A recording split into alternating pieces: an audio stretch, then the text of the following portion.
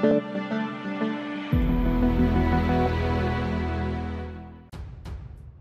to hard reset Realme C15. Step 1. Press and keep power button and then choose power off key. Step 2. At the same time, hold down power button plus volume up button and when TCL logo image shows up, let go help keys. Step 3. From the appearing recovery mode, use volume rocker for navigating and power button for select.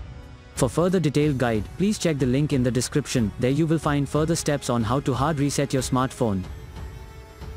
For further detailed guide, please check the link in the description, there you will find further steps on how to hard reset your smartphone.